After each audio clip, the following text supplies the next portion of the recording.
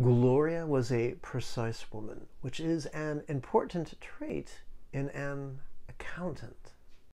She was fastidious as well. Whenever she erased a bookkeeping entry, she would rise up from her desk, gingerly tilt her ledger over the trash can, mindful not to spill any on the floor. The way we do one thing is often the way we do many things. And Gloria lived for precision and organization and schedule and consistency.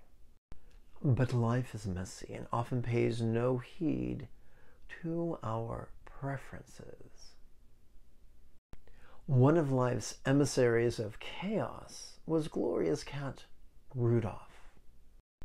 And although he was destructive and unpredictable, Gloria loved him so, which made it all the more disruptive when he died.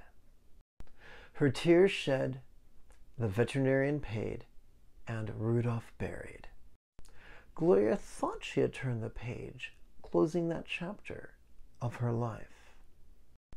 But the following morning, as she got out of bed at the usual time and sat to meditate in the usual place, she could not replicate the usual experience. As mantras and peace had been replaced with weeping and grief. Sorrow is not a pathology, and meditation could be many things. What if we pretended that we did not have to concentrate upon our breath?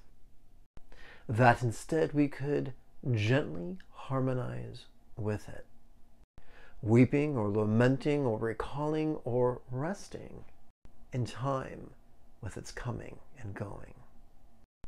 Breathing is natural and does not have to be forced.